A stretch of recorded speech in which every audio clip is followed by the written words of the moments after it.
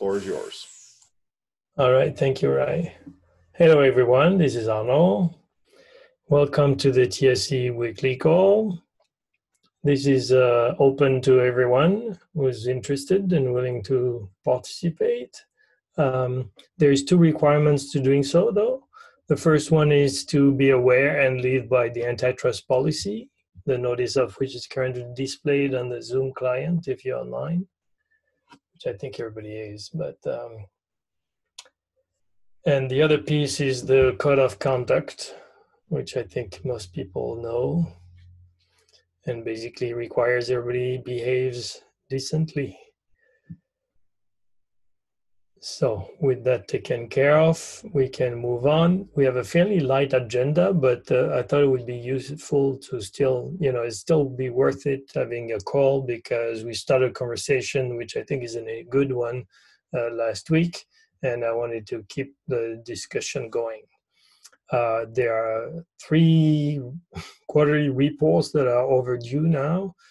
Um, I do want to point out that uh, some were posted last week and not fully reviewed by all our members. So please, if you haven't done your homework, go back and look at those uh, reports. They are linked from last week's agenda. And uh, hopefully, we'll get those that are overdue now pretty soon. Is there any announcements anyone wants to make? Yes, I'd like to real quick, Arnaud, about the election. We, I, I just want to thank everybody who volunteered to help um, with the transparency of dealing with issues of eligibility for the election. Uh, I've gotten a lot of good feedback um, and help. Uh, we're currently now in the process of updating the eligibility lists. I've been running the scripts um, pretty much every other day for the last couple days. Um, although I realized I've been making a mistake and not limiting it to the last year. So if you've been using the eligibility site, um, there is a very, very, very small chance that you might come back as eligible, but you may not be eligible because you haven't contributed in the last year. I just want to be transparent about that. I'll be fixing that today. So if you have checked in the last couple days, um, I encourage you to check tomorrow um, one last time. So um, just to be certain that you are or are not eligible. And again, if there's any questions you may have about eligibility, email election at list dot or lists.hyperledger.org. And um, that's it. Short and sweet. So when you were running the scripts, the range was not set correctly initially? That's correct. The, the default for the range is not the previous year, it's for all time. Um, uh, thank, thank you, Tracy, for catching that. I totally forgot about the range um, specification for the tool. So I will be running it today with the cutoff date being the 1st of August 2019. So any contributions from the 1st of August 2019 until today will count towards eligibility and the tool will be updated sometime today. All right, thank you. Thank you.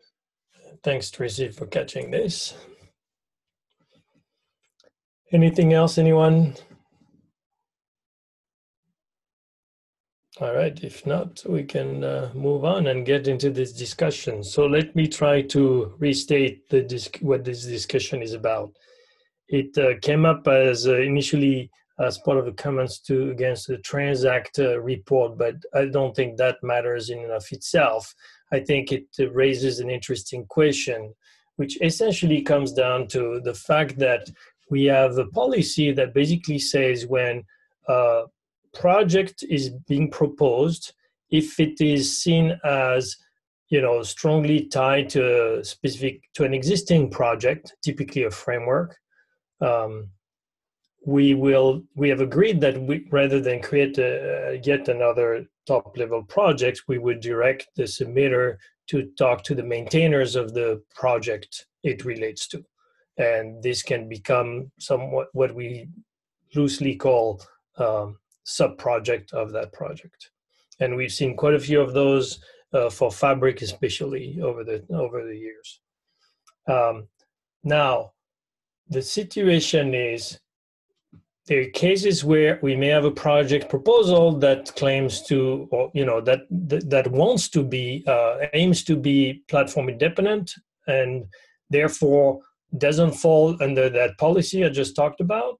And so it's approved, it becomes a top level projects, and then the feature that was you know key to the decision just never pans out for whatever reason. And this is not about criticism or what you know it's about the fact that sometimes it doesn't happen and a project maybe it originated from a specific project and never really was able to cut ties or there was just not enough volunteers to work on to support it on other frameworks. We've seen this for composer for instance is a good example of that.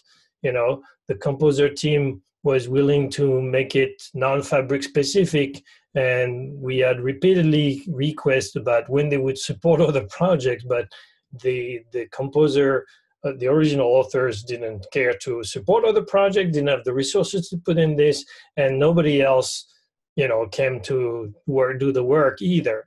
And you know we are in an open source environment where it's all volunteer based and so you can't force people to support you know different frameworks. You have to you know get people who are interested in doing the work to do it. So the question then is if that were to happen, what do we do? Um, it might be reason. It, I think it is reasonable to say, well, after a certain period of time, and this would have to be defined. You know, uh, it might make sense to say, okay, for whatever reason it didn't happen, we should revisit the question of whether this should remain a top level project or if it should become a sub project of whatever other project it depends on. So that's really the crux of the, the, the question at hand.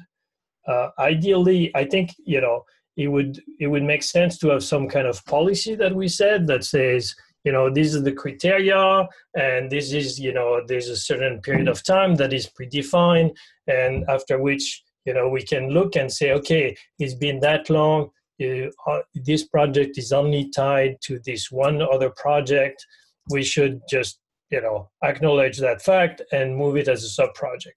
Now, it has been pointed out, I think rightfully, that you know we cannot take into account only Hyperledger projects in, in this regard because they may be projects that are only used by one other project and or none for that matter within the Hyperledger community, but they maybe have different uses outside of Hyperledger, right? And I think Aries is one such cases where there's actually quite a bit of use outside of Hyperledger with other projects than Indy. And uh, same with Ursa. And Ursa, okay, that's another example. And uh, Danno pointed out that in the case of Besu, there may be you know uh, technologies that would fall into that where that are related to ethereum where there's different softwares out there that could actually share some components. And if we wanted to have that we wouldn't want to say well it's only tied to besu so besu is the only one who uses it in hyperledger. And you know that would be disregarding the fact that it's used outside as well. So i think this kind of you know uh, uh, aspects need to take into account but I think we could draft a policy that would make sense and that could work and would allow us to manage our projects more effectively. So that's the basis of this discussion. Now, we didn't really have time to discuss it last week because it came up just like maybe five minutes before the end. So we definitely didn't hear from many people. Uh, I, I would like to open it to everybody now and get reactions, comments. What is, how do you feel about this? Could I ask people who want to comment to please like raise their hand and use the raise their hand function so that we can have an orderly thing? And I see that uh, Nathan was the first to get his hand up. Nathan? Yeah, so one of the reasons we have a TSC is so that we can uh, have discussions and make exceptions where it's needed. So I really like the idea of having a policy that, that sets this kind of the standard for how we fold something back into a framework. I think that having more aggressive cleanup on some of our project lists would help focus the, the development in the community um, and help people understand a little bit better where to go to get help um, and also help us coordinate things like releases, especially on some of these projects that just they're so tied to a particular dependency, a library or a framework that trying to manage them outside of that is actually more difficult than just letting them um, fold into one of the, the main work streams of a different project. So I really like this idea of saying, you know, you can propose to be your own independent project. We're willing to give it a try, but if it doesn't work out, this is what we do. So I, I like the proposal that Arnaud is, is, is, is talking about here of, you know, if it doesn't work out after 12 months, we really should probably fold you back into the other project just because it'll be easier for you and your developers to keep track of what's going on. All right, thank you, Nathan. Mark? I think Mark was next. Yeah. Mark, you're on mute. Yes, I know. Sorry, I was trying to find the button. No, my thing wasn't indicating that my hand was up, so I wasn't sure. Okay. Um, I think part of this is we don't really have a structure to handle stuff like this, and maybe we need to look at the overall structure, right? We have top level projects, and that's sort of it. You know, otherwise you just get sort of shoved under a different project um, because you're closely related to it. So I'm wondering if we need to look at maybe different classes of projects. Um, you know, what happens if something gets put under Fabric and Fabric doesn't really want it, but it sort of, you know, decides it's under Fabric or under Sawtooth and, you know, how, is, is that top level project responsible for managing this orphan that they may not want? Is that making sense? Yep. Okay, I mean, I'm, uh, you know, we've talked about a lot before, right? About different structure, and I wouldn't want to reopen that issue because of what we're talking about, to be honest. But I hear you. I mean, you know, we went through this before quite a bit, and in the end, we decided no. You know, we basically have top level projects, and then whatever happens within each project is their own business, and so from a TSC point of view, it's one project but uh, I hear you. We'll see what other people think. I think Brian was next. Yeah, um, you know, I think I think part of the this uh, ongoing conversation as well has always been what's the cost of a high level project uh, in terms of uh, management time, in terms of TSC time, in terms of you know call it marketing. You, know, you don't want the greenhouse to be hundred projects. You want it to be a well curated uh, set of them. And I think I, I, it's even though I don't think Transact is really costing us a lot on most of these functions, I, I think it's still worth asking. You know, is it really a part of the Sawtooth project? Right, and um, and I think the thing to look at isn't so much dependency as correlation, uh, correlation between the development teams. Uh, I, you know, if the two teams are pretty much the same team, if their releases tend to be synchronized, um, and all that stuff, then then it's probably you know useful to combine them. I'd contrast this with uh, Explorer, for example, which is a very different team from Hyperledger Fabric, which uh, and, and I know we've tried to get support for other ledgers on Explorer. I think that path is still there. But I know the Explorer team is certainly open to it, right? Um, and, I, and I so so so that correlation uh, and and synchrony between teams would be one of my primary criteria. Um, the other is, and this is a very subjective thing, so it's hard to, to, to know if we're being fair about it or not, but is uh, some measurement of good faith, right? Um, you, you, know, if the project has a good faith intent of living up to that objective of being a multi-ledger transaction processing system, uh, and you know, one way you can tell is have, do they uh, reach out to the other ledgers? Do they incorporate input from those ledgers as they're doing the architecture decisions? And even if it didn't happen the first time, there's always subsequent times for that to happen, right? Um, and so I think a valid question back to the Transact community might be, are you planning a, a, a next gen architecture, a, a 2.0 architecture? Uh, uh, and even if that's far off, now might be the time to go to Fabric and Iroha and Indy and Burrow and uh, and say, you know, how do we, um, you know, try to incorporate more of you into the next uh, uh, architecture cycle? If and, and I think it should be easy to measure the true faith, uh, the, the, the the good faith uh, uh, of the intent of the developers once that question is posed to them. All right, thank you, Brian. And I will add to the cost aspect that you were mentioning at the beginning that there's also, you know, the cost to the users, and I think you know it was referred to earlier on as well, is that you know I often hear people tell me, what's going on with hyperledger there's so many projects and they don't know where to you know where to go and how to find their way through all the different projects. So from that point of view alone fewer projects will make things easier. If there's a project that really depends on another one it just makes it easier if it's part of that project and people don't you know not facing more projects than they really need to know so back uh, to the list dan is next hey uh, so i think on that last point with Transact specifically, that community has always said, hey, we're not trying to recruit end users, so there shouldn't be a point of confusion on that. Uh, or there, there wouldn't necessarily be a point of confusion on that. So the issue of guiding prospective users or developers through our portfolio is, I think, a little bit orthogonal to this one. Um, we should have the the people who introduce others to the community should have ways to, to guide people through. Uh, I don't think that we would necessarily want to limit the number of, of projects that we have uh, just for that reason. Um, but coming back more squarely to the main issue, I, for me, this looks like other attributes of a project's charter. Is a project substantially fulfilling that charter? And right now, our main mechanism is if it's not, that would be one of the criteria that says, all right, well, you're not ready for active because you're not really fulfilling your criteria. And so I would just uh, try to keep that as the uh, consistent approach that we have. I think it would be very artificial for us to restructure projects. We said that we decided on that back when we did redid the the life cycle that we were never going to move a project backwards in the life cycle. And doing something like that here would be analogous to, to changing that policy.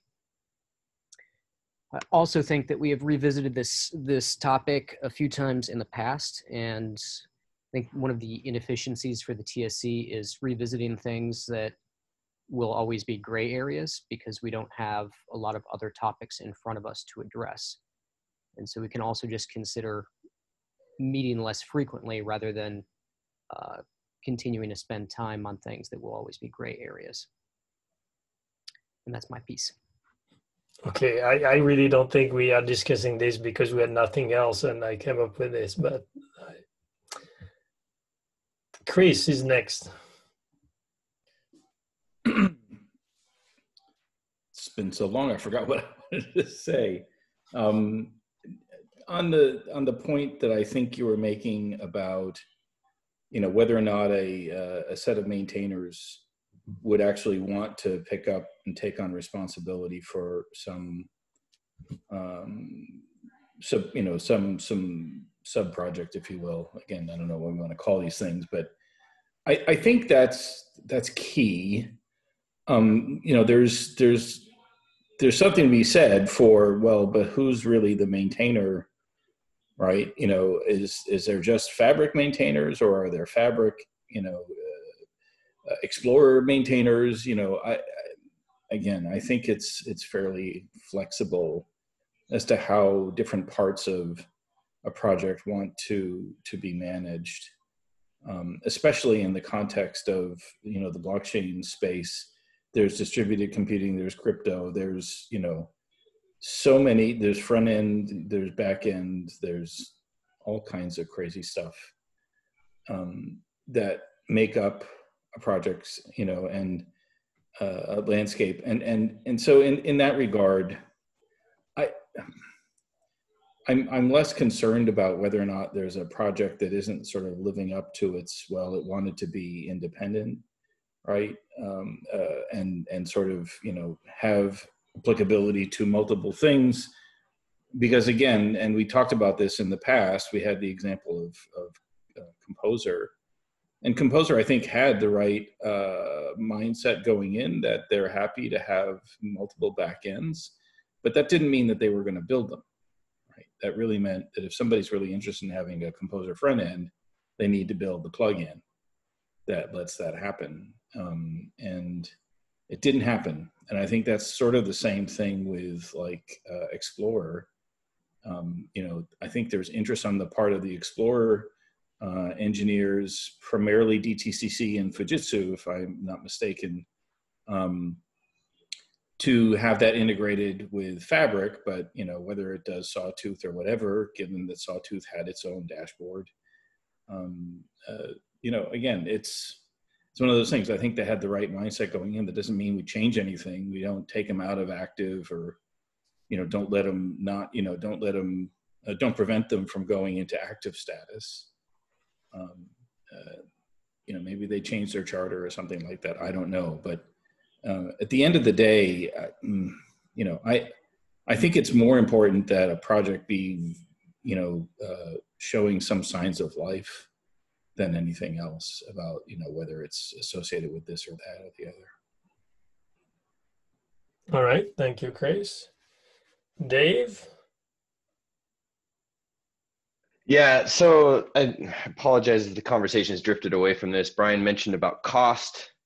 Um, obviously, top level projects are the only ones that can trigger security audits and um, promoted releases. So, if something that started out as a top level project, say like Ursa, and then it doesn't meet the criteria of being cross platform or whatever, and it starts to be moved, let's say back under Indy's and Aries because nobody else is using it um, that that may be that may affect something, right? Like because Ursa definitely wants to be audited at some point.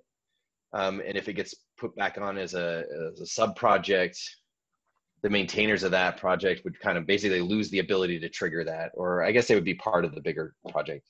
I don't know. I'm just I just wanted to point out that there are some like costs associated with top level projects that are significant um, and should be considered um, when we're going to change status like this. Yeah, but so that's the reason to want to revisit this uh, status, right? Oh, the status. Quo. That's correct. Yep, that's correct. Yeah. Okay, and and you said Ursa in this case is used elsewhere. So, and and again, one thing I want to clarify actually on this is you know i don't expect any of this to be automatically you know done uh, it would obviously be discussed with by the tsc and we would have to make a decision and there may be plenty of reason we say yeah for this and this reason you know somebody suggested we should uh, fold this project into another one but there is all these other reasons. We shouldn't. And there may just be one but everybody's like yeah you're right. And so I, I want to reassure everybody it's not like this is you know something that happens automatically and there's nothing we can do. Everything gets discussed and we have to agree you know uh, as a whole as a group this is the right thing to do. So tracy is next. Yeah so I, i'm wondering um, if this discussion is uh, being caused for another reason, right? Like the the root cause of our problem here isn't necessarily um, the fact that we want to combine projects or, or that sort of thing. It, it feels like there's the the reason for these discussions are surrounded by um, two things that maybe we haven't solved for. One being the multitude of projects that's causing confusion for people as they come into the community. Uh, and then the second is um, whether or not activity is really occurring in these projects, right? Um, so should some of these projects actually be closed because there's no activity happening, um, which obviously I think is a very tough discussion that probably nobody wants to have because nobody wants to make that difficult decision of, you know, project X has to go away because there hasn't been any work on it in the last six months or whatever the case may be, right?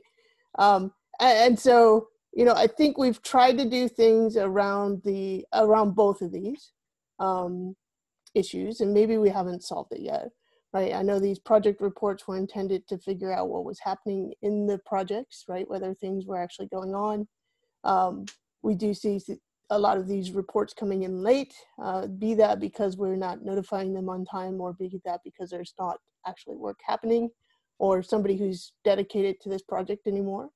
Um, and and you know we've also tried to uh, you know separate out into multiple areas the greenhouse right of the different sorts of projects that exist and um, in, a, in an attempt to make it clear as to, to what you might want to look at as you come into the uh, community. So I, I i'm just wondering it, it feels like we we come around to this conversation of projects sub projects uh, we actually introduce labs right as a another sort of level. Um, is it that we're not solving what the real problem is and that's why we continue to have these discussions? That's it. All right thank you. Nathan. Um, i like tracy's thinking here around what are the tools that help us make the best decision. Um, in, in part this is where i've struggled a lot with some of the projects that are very fabric specific um, not because they're not good projects. I think they're great projects, but as a TSC, I think we have fewer tools to deal with them effectively than the fabric maintainers do. You know, I, I have a hard time evaluating whether they're doing a good job of keeping up with the current stable release, for example, um, in terms of API compatibility with fabric. Whereas I think internally within the fabric maintainer community, that would be quite obvious. Um, and so having those managed as a sub project, I think helps keep them active and alive. And I think we would detect things like maintainership problems or maintenance problems faster if they were managed as sub projects. So I think for me, the question here is what is going to give us the best tools for these projects to be able to, to, to stay relevant and, and stay useful, um, in addition to the marketing benefits and the other things that come. Um, to, to address Dave's uh, point, um, we have a lot of subcomponents, especially in the Aries project. So things like asking or triggering major releases or security audits get more difficult when you're doing sub projects. But I also think that uh, there's no reason we can't trigger security audits or trigger marketing releases and those sorts of things for subcomponents uh, by staying up to date on what's going on as maintainers inside of uh, whatever the main framework project or the main master project, if you will, might be. So um, I think practically speaking, this gets to what makes this easier for us to get stuff done and collaborate. All right, thank you, Nathan. Brian, go ahead.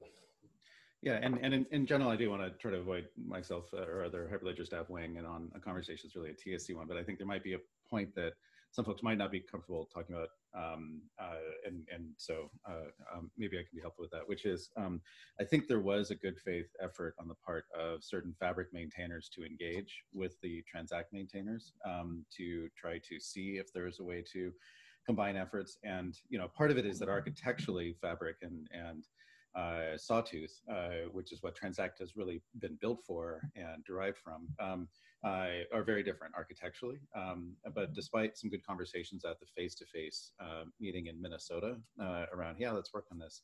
I think there was a sense amongst some of those folks who engaged from the fabric side that they were kind of rebuffed or not taken uh, uh, seriously. Um, and I think that's why I think there is some question of good faith here, right? Um, is there a good faith intent to live up to the um, commitments that were a part of the approval of uh, Transact as a project in the first place, which I think I think we went more out on a ledge to take um, uh, intent into uh, uh factor uh, uh, in the project approval than we normally would. and so I think that's, I mean, I know people are looking for underlying motives or that sort of thing, but I don't think it's that very down deep. I think it really is that sense that if a project's approval was based on a promise of something, you know, and that something is very subjective. Uh, how does the TSC um, come back to if that wasn't, you know, lived up to, right? Uh, as a as a measure of faith, not necessarily as a measure of outcome.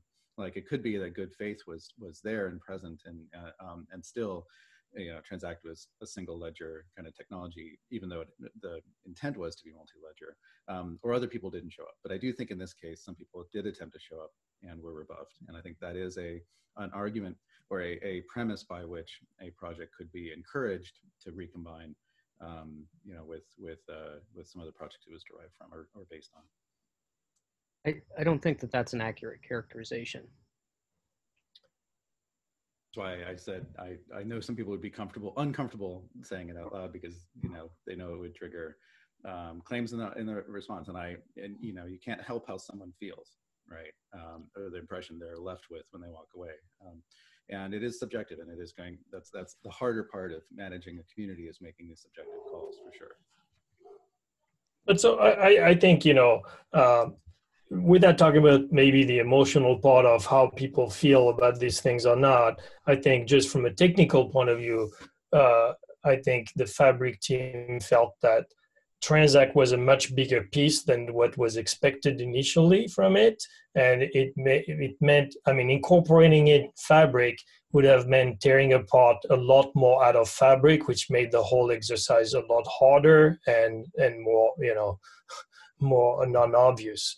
So I, I think for that reason alone, it was felt that well doesn't make sense for us to do that, and so it kind of stopped the you know it killed the interest that was initially in it. And and maybe there's a, something else that needs to be taken from this which is you know um, for these kind of projects to really have a chance i think they would need to be driven by more collaborative effort from the get-go so that you know you would know where to draw the line where it actually will work for different projects. In this case we have a team from the Sawtooth group that says, hey, we're going to extract our smart contract engine, generalize it, but you know, they draw the line where they felt makes sense. It didn't make sense for the fabric team. So maybe there's a lesson in that somewhere, but uh, I, I, think we. I think that's uh, a much more accurate characterization. There was collaboration up front in putting the project proposal together. And when teams got face to face at the Maintainers Summit last fall and they started digging the next layer deeper, it was clear that it was becoming more expensive on the fabric side. So I don't think there was any rebuffing. There was different prioritization happening within the, the fabric community from when we launched that project, and there was a different recognition of the level of effort. I don't think there was anything about uh, lack of genuine intent on anybody's behalf. I, think that's fine. We can leave it at this. And I, I, I, want to, I don't want us to drill too deep into the specific Transact issue. And uh, because what I said earlier, right, when I was talking about having a policy uh, along the lines of what I was talking about, I said there may be diff- many different reasons why things don't pan out the way they were planned, right? And so I, you know, bad faith may be one, Brian. I don't know that there's, you know, uh, I, I wouldn't necessarily want to to to point that out eh, onto any of the situations uh, you know uh, put that on into any of the situations we have faced so far. It doesn't really matter to me at the end of the day. And, I, this is why i think it only makes sense if we can come up with some kind of policy where we have fairly you know objective criteria we can use. Uh, just like we have for you know the life cycle for moving from incubation to active status and so on so I, I think if we have to rely on this kind of more subjective matter, it's going to be very hard to implement, and there's maybe not so it may not be so useful. So there are a few people we haven't heard of, uh, heard from. Uh, Gary, for instance, is Gary there? I don't see him anymore. Is he dropped off?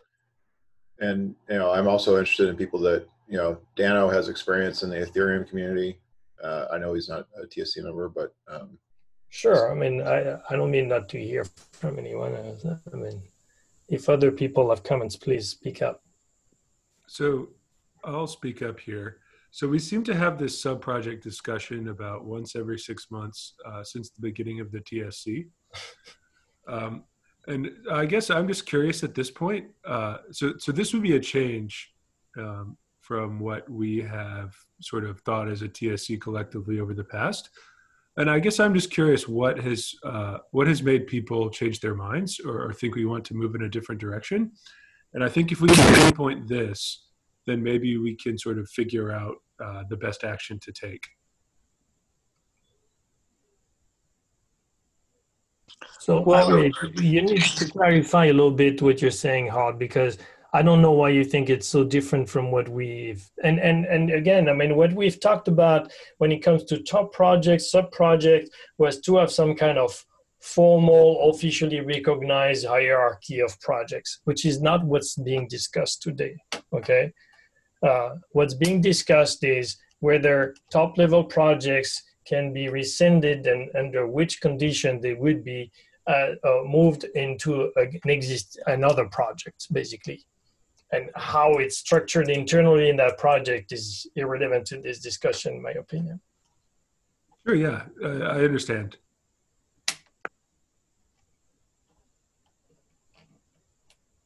So Nathan, go ahead. When we look at the Hyperledger website, we have distributed ledgers, domain-specific, libraries, and tools.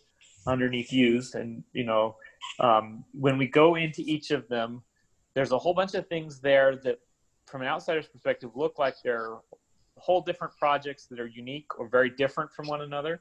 I, I think we've been very um, hesitant um, to make a strong decision or a strong stand about projects like Explorer or, you know, um, Composer was one that was like this before. And I think um, you know, Composer is a good example of a project that drove a lot of user adoption, and I think having it as its own standalone loan project during the time when it was doing quite well, I think was a very positive thing for our community.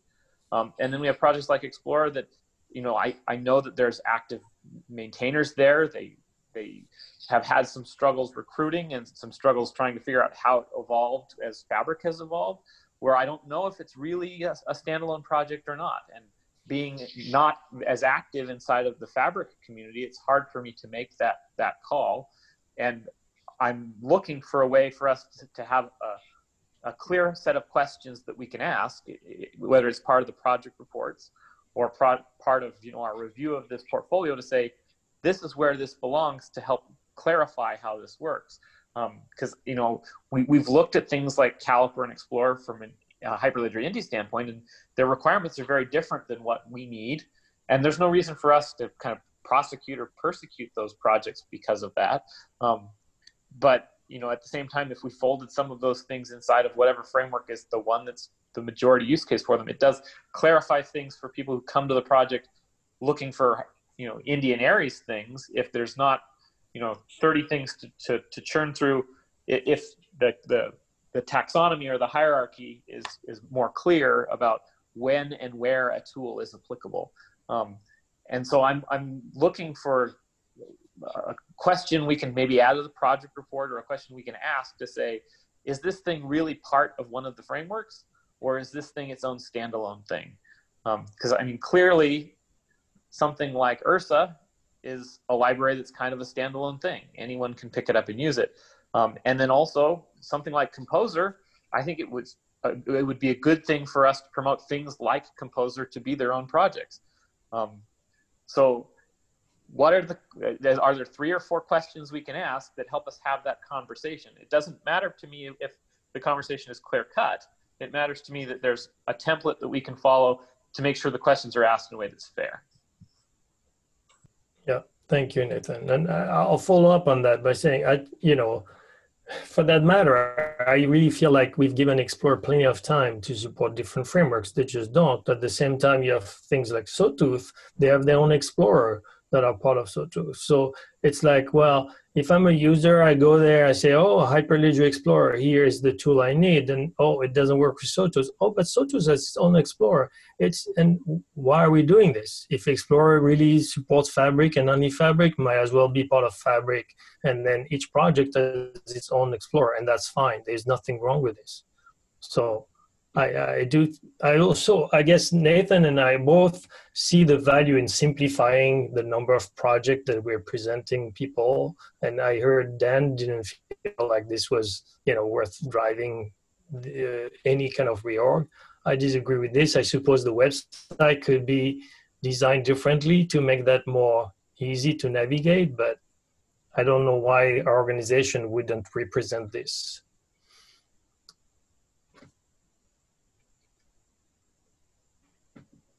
Who haven't we heard from? Anybody else wants to chime in? Can you hear me, Arnaud? Yes, Mark, go ahead.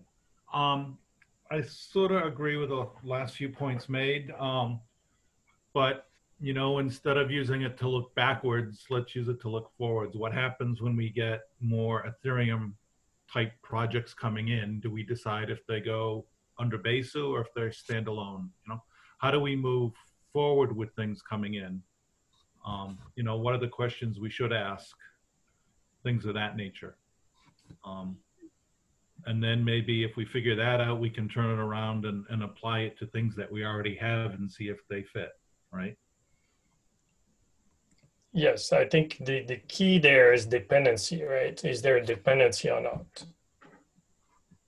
Right. I mean, if someone comes in and says, I want to build this widget and it will work with anything as long you know we're going to design it to work with fabric and but it should in theory work with anything as long as the other projects write their own their own plugin for it. Um, you know, is that a good or a bad thing? How does how does Caliper do it? You know, Caliper seems to be a cross project thing that works well. You know, so what do they Yes. do that's working? Well, I mean, they have people who are motivated to actually support different frameworks, so they actually do the work. And, and again, this is not about blaming anyone not to do this for their projects. It's just you know acknowledging that that's the case. In some cases, you have a community that says, "Yeah, I want to support all these different frameworks," and it makes complete sense not to have them be tied to a specific project. On the other hand, if it just is, then why not acknowledging it? So I, I think that's really the key point, in my opinion. if I if I might to answer something that was asked a little bit earlier, um, there were several times where uh, we did try to have some sort of simplification to the website so that people could make decisions. People outside the project could make decisions about which project was interesting or useful to them, and uh, that never turned out well. Um, because you know all blockchains are good for everything. And Yeah. so it, it, trying to even provide a list of discriminators has turned into a very difficult discussion in the past. And I, i'm certainly willing to to to watch you guys revisit it um, because i think it would be valuable to the community to to be able to discriminate more carefully. But i think if we're going to talk about reorging the website and all that that is just i think that is just a symptom i don't think that's really you know the problem Okay. All right. Thank you for that input. So if there isn't any other comments, I, what what I would like to do is have a straw poll. This is not a vote, right? It's just to me what matters now is to know whether we should keep pushing into developing a policy that would address the the question at hand or not right? I don't want to spend more time discussing it if at the end of the day, majority of people are saying, no, we're not going to do this anyway. I personally am willing to put the effort into drafting a policy that we could try to hash out and, and see if it actually can stick. But I don't want to do it if you know there isn't uh, enough support to make it worthwhile. So, could I have a show of hands for the uh, whether this is worth pursuing or not? Uh, I don't know. We do this. Uh, There is a everyone does have a thumbs up, thumbs down, yes, no. oh, yes. Yeah, let's make use of that Zoom meeting thing. Yeah. Yeah, there's yes and no. Should we continue? Click yes or no. Continue. Or nothing. If you, I'm sorry?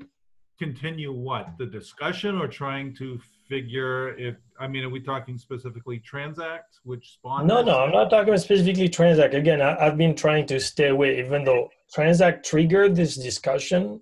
I'm trying to see if we can have a policy that would be applicable. And then it would be natural probably to have Transact looked at it from that angle, but that's that's that's a, that's a separate step in my mind. We're talking about whether we should have a policy that will address the issue we've been discussing. And and and you know, again, I'm not talking about approving a policy because we don't have a policy to look at yet. It's whether we should spend more time discussing this, meaning I would draft a policy, we could discuss it, comment it, and not and whatnot, towards eventually a vote, yes or no. But if right now there's a majority of people saying we shouldn't do this, then I don't want to spend more time. So that's what I'm trying to gather.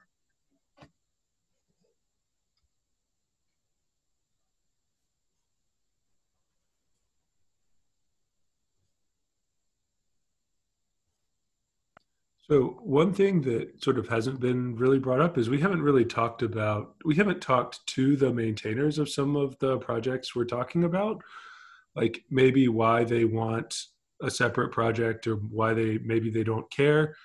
Um, but I mean, it, it, would be useful to have their input in, in any kind of discussion like this. That's a good point. So that's something we should probably do uh, if we continue this discussion is, you know, bring in some maintainers asking them, you know, what's their view on this. And again, I mean, you know, if if this were ever to come, uh, we would definitely include the maintainer of the project that we would be considered to, you know, to to reorganize based on that uh, on that policy anyway, right? We couldn't possibly do that without their input. So there are a lot of people who have not voted either way. Tracy, Troy, Nathan, Hart. Yeah, Angelo. Yeah, I, I don't know how to vote. I don't know. Um, All right. you know, I think I think there does need to be cleanup, but at the same time, like I just don't know where this is gonna go, and so it feels um, like until I know what this is gonna look like, I, it's hard to say yes we should go forward. Um, Yeah, but so let's me put it another way. If if we have more people voting no now, we stop discussing this issue, move on. Yeah. If you want to, if you think this is worth investing in, investing more for the TSC time in it, then you should vote yes. That's all I'm asking at this point. yeah, I still don't know. Okay, sorry. I tried No, to make that's it okay. easy for you. That's all right. I- I mean, that's where I'm at. So I It's wish all there was like a maybe, right? from There's, no maybe. So I know I was looking, is there an option for like abstain? But there is that. I guess you could put the, the away or I'm taking a break, need a break. Oh, that's what it is. This coffee cup. there we go. Should we consider the possibility that there's just not enough data to really get a formal policy? I mean, we have one instance with Transact, which is a very specific case. Are we making a generalized policy too early? Well, I, this is an interesting point. I agree. I mean, we would have to kind of, you know, try to test it out at least mentally. You know, does that make sense? What does that buy us? Um, I, I would come back with a rebuttal though. Of, no, we've had this problem since almost the beginning of Hyperledger, and I, I think we just we haven't been willing to make a stand on it more so than because I think clearly we have this problem where there are things that are not standalone projects we've labeled as standalone projects. Okay. All right. So I agree. Uh, I, I mean, I do think we we you know it is easier to agree on approving things than than rejecting things or kind of you know rescinding things in any specific way that can be seen as negative. And and unfortunately, I think at some point you know we need to step up to that and then say, okay, you know, it may not be so nice to do, but this is what we have to do here. And uh, and so. I, I think we we have. I mean, some of us have been around for since the beginning. Have seen this and and know that we are going to have to get there. And you know, it was discussed earlier that there may be other cases where we have to just say, you know what, you just don't live to the expectation, and you know, we should shut down your project, whatever that you know the exact uh, way we do this is. So, all right, but so thank you all for your input. I see you know there's the majority of people in favor of continuing this. So uh, we will do so. I don't know that we necessarily need to have more call uh, time on this for now but uh, i am interested in trying to write down a policy that i think would make sense and uh, to put it before you guys to look at and comment and trash out if guys might be i'm not offended. And so then we can see how that goes. And if it makes sense you know have more discussion at some point down the line. Okay? I think that's about it. I'm glad we had this discussion. Thank you all for participating. Is there anything else anyone wants to bring up now or we can close on this?